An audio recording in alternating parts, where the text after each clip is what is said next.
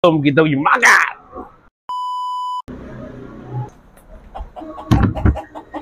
Aku nak review, aku tak nak review itik Sebab aku tak minat itik Sebab itik ni dia punya daging dia uh, dense sangat Aku tak minat Jadi dekat sini aku nak review ayam dia steam Dan juga roasted chicken dia Pekat, dia banyak pakai tepung jagung ni Dan juga ada oyster sauce dan jagung-jagung lain Aku akan le- letak kulit ni last sekali Sebab kulit ni memang terbaik Tak makan dengan cili dulu Sebab aku nak rasa genuine dia Hmm. Bila biji tu ada, bila masuk dalam cili dia rasa pedas. Bau sedap bau menyengat yang kata. Bismillahirrahmanirrahim. Kita bagi pula ke steam. Steam pun sama, aku akan alihkan dulu kulit ni. Sebab kulit ni memang favourite aku lah. Tak payah nak kata apa lah. Okay. Oh. Lulus.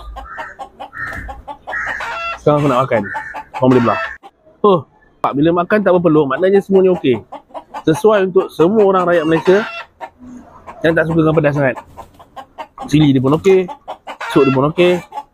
So, kepada korang yang nak rasa nasi ayam style Cina, Muslim, boleh datang kat sini, seksi 16. Ahmad Lee nasi ayam. Terbaik.